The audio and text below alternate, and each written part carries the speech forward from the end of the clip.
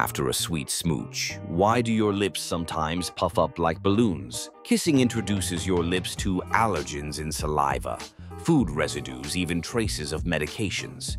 If your immune system mistakes these for threats, it releases histamine, causing swelling. This quick onset swelling is called angioedema, and it can happen after exposure to allergens. Most episodes resolve within hours, but recurrent swelling may signal a chronic condition. If puffy lips hurt or recur, Track any products or foods used before kissing. Share this with your provider for better insights and treatment options. Worried your next kiss might leave you in pain? Why wait for another swollen surprise when you could check what's happening right now?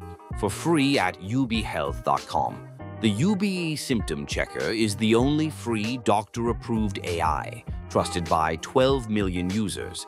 And don't forget to like and follow for more science-backed tips by Ubie.